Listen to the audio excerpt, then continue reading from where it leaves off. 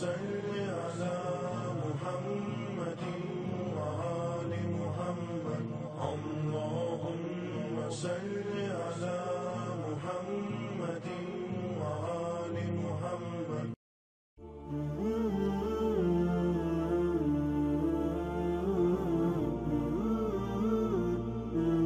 Bəzən öz-özümüzə oturub fikirləşirik. Bu gün nə görmüşük, nə eşitmişik? Lazımlı olub yoxsa lazımsız? Düz iş görmüşük yoxsa yanlış? Bədən üzvlərimizi, dilimizi, gözümüzü, qulağımızı hesaba çəkirik. Amma yeri var qəlbimizdən soruşaq. Ona sual verək ən mühüm şey barədə. Əsrimizin imamı barədə soruşaq qəlbimizdən. Bugünə kimi öz imamımız barədə nə etmişik? Hansı yükü onun çiyinlərindən götürə bilmişik? Neçə nəfəri ona tərəf çağırmışıq? Onun adını haralara çatdırmışıq? Neçə nəfər yoluna azmışıq?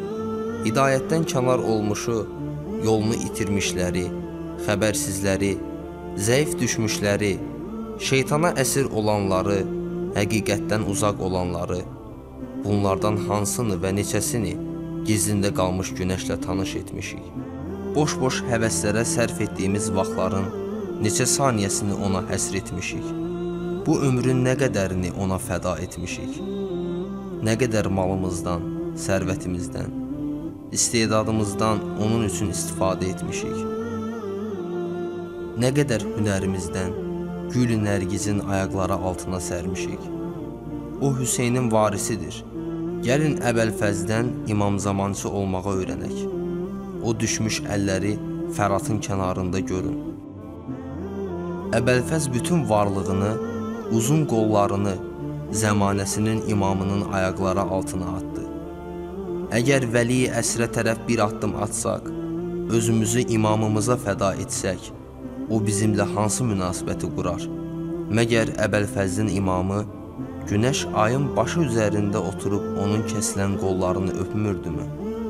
Bilin ey cavanlar, and olsun İmam Rızaya, and olsun Quranın bir-bir bütün ayələrinə, əgər ömrünüzün bir qismini, istedadınızın və hünərinizin bir qismini zəmanə imamına sərf etsəz, ona fəda etsəz, həyatınızı ona xərcləsəz, bilin ki, o qədir biləndir və sizə borclu qalmaz. Elə əvəzini qaytarar ki sizə, onun kərəm xəzinəsini görüb qiyamətə qədər xəcalətli qalarsınız. Xəcalətli qalarsınız.